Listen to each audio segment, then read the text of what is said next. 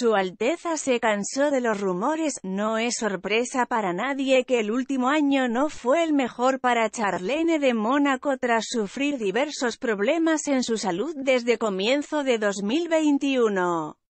Sin embargo, pese al revés que puso en jaque, en más de una oportunidad, la vida de la esposa del príncipe Alberto, ahora, la realidad es otra. Tanto es así que volvió a ser la protagonista de uno de los días más importantes para los Grimaldi. Fueron muchos los rumores en que se vio involucrada la princesa consorte en los últimos meses a consecuencia de su prolongada ausencia de los eventos sociales más relevantes del Principado.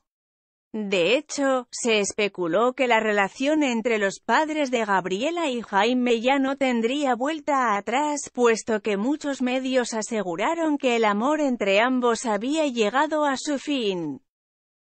Sin embargo, la realidad es otra, ya que en las últimas horas se logró apreciar la presencia de Charlene de Mónaco en los actos por la celebración del Día Nacional de Mónaco, una fecha que quedará en la memoria de todos los integrantes de la Casa Grimaldi, en especial del príncipe Alberto, pues significó el retorno a la vida social de la exnadadora.